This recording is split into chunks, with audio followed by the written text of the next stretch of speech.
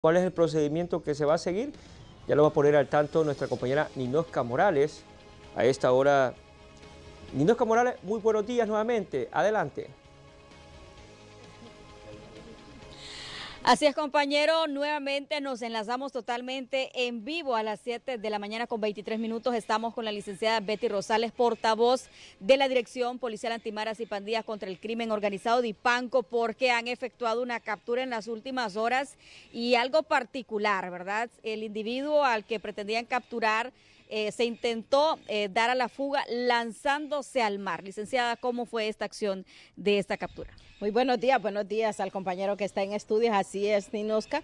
Eh, la Dirección Policial Antimaras y Pandillas contra el Crimen Organizado de Ipanco, una vez que llegan las órdenes de captura a su oficina, comienza a realizar lo que son los trabajos de investigación y seguimiento, y es así como se da con alias El Negro, con su paradero, esto en Barrio Inglés, y en donde una vez que él se percata que los agentes de Dipanco se encuentran en la zona, comienzan o quiere huir de los mismos y el único llega lo que es a la zona del malecón y es ahí donde decide tirarse lo que es o lanzarse al mar. Estamos hablando de alias el, negro de 24 años de edad, eh, quien eh, pues una vez que se lanza al mar, pues los compañeros para efectuar el, trabajo, pues eh, también pues se lanzaron tras de él para realizar su captura y es así como se, se captura alias el negro e inmediatamente es puesto ante el juez competente de esta ciudad de La Ceiba, eh, ya que tenía este orden eh, de arresto eh, por, parte del Poder Judicial de esta ciudad de La Ceiba, esto por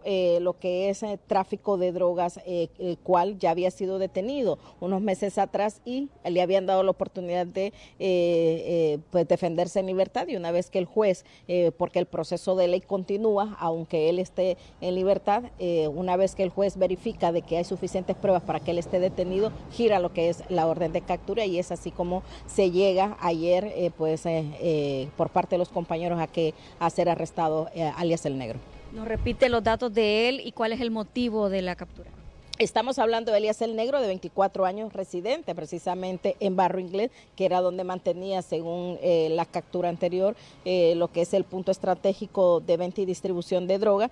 La orden de captura se gira hace un mes, precisamente por los juzgados de sentencia de esta ciudad de La Ceiba, el cual eh, determinó de que habían suficientes causas para alias el Negro que estuviera en prisión. Estamos hablando que él se detiene por lo que es tráfico ilícito de droga en su modalidad de posesión en perjuicio de la salud pública.